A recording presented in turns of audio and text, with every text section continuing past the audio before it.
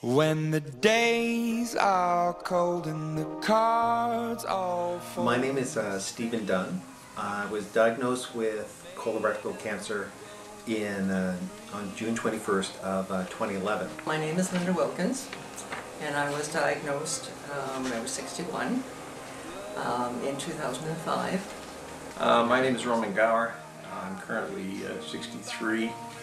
Um, I was diagnosed uh, with colon cancer in uh, 2006 when I was uh, 56. My name is Margaret Podgorski and um, I was 52 when I was diagnosed uh, with stage 4 colorectal cancer in January of 2009.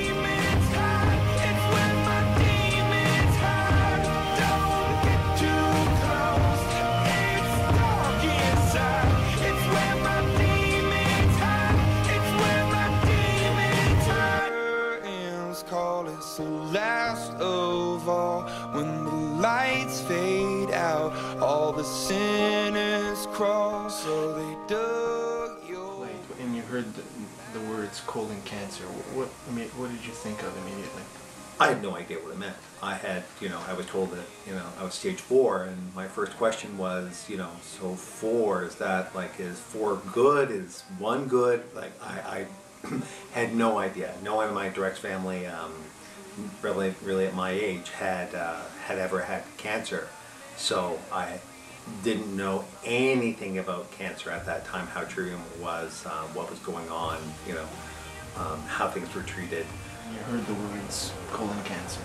What crossed your mind? Panic, fear, the, the typical reaction to hearing something like that. Not good news. Scary thoughts, um, blackness. I think everybody was in shock. It's not something you expect from um, from um, you know someone who seems you know otherwise healthy.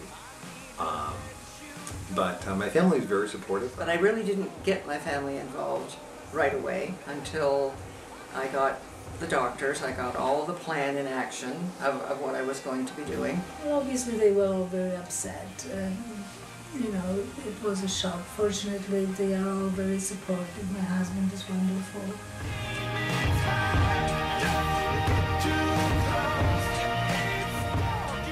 And how did the CCAC in particular help you through the process?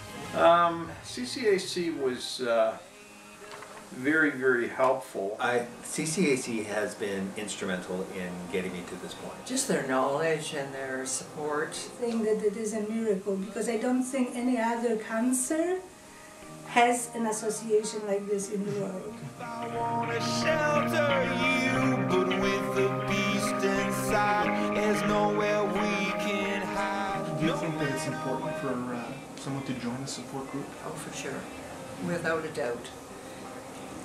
Just for the knowledge uh, that you, you acquire through a group, uh, the support of fellow people, just, just uh, the person beside you might say, Are you having trouble with something? I can help you. Again, the more people that you talk to that have been there before you, um, the more educated you are, and you've dispelled an awful lot of that fear of the unknown. It's very important that it talks about my cancer, that it talks about colorectal cancer. There's a lot of groups out, out there that will talk about cancers. But I mean, as time goes by, we know how different these all, all these diseases are, right? Oh, I do. I think it's very important. On one hand, the people who are treating um, patients, and on the other hand, you need need an organization that can help guide those people through their treatments. And I think there's an emotional connection uh, that gets made as well. No matter what we breed, we still are made of greed. Not that I have a wish. I have a I have advice.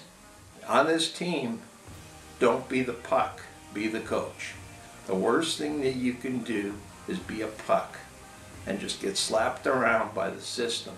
Ask questions.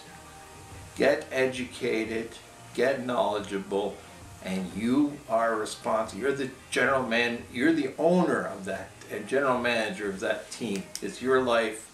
You better manage it. I wish I could say that I wish there was no cancer. Just never give up. Just don't give up. I would wish that cancer could be eradicated completely. And I think CCAC, if they had a, if they had their way, they would do it. But realistically, um, just get the word out there so that everybody can get screened and can find out what they have to do. And um, be your own advocate is a big thing. I wish everybody would be their own advocate. One wish would be that, well, the eradication of cancer would be my one wish, but I, I, don't think that's gonna happen. I think practically, I think there needs to be a, a more, more education about colon cancer. There needs to be more coordination, and I think that's really where the CCAC comes in, in terms of coordinating uh, patient advocacy, patient care, and, uh, and um, really coordinating things behind the scenes.